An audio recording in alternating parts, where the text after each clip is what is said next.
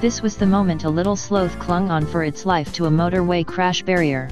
The creature refused to let go, as police attended to check its welfare. The bizarre incident stopped traffic, and thankfully the little fella was unharmed. Since it was posted on Facebook, more than 36,000 people have liked the post about the incident in Quevedo, Ecuador.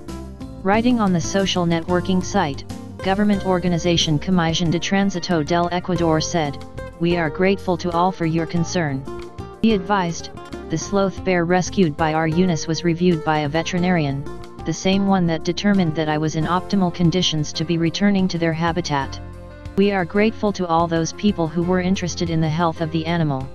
We will continue to support this kind of cases along with the collaboration of citizenship. Greetings to all.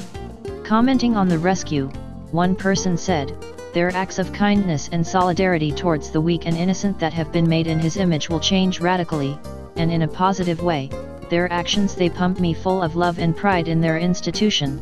Keep it going well with his example, create awareness, and to raise awareness among the people. Sloths are medium-sized mammals which are native to the jungles of Central and South America. They are known for being slow-moving, hence the name, and unique expressions.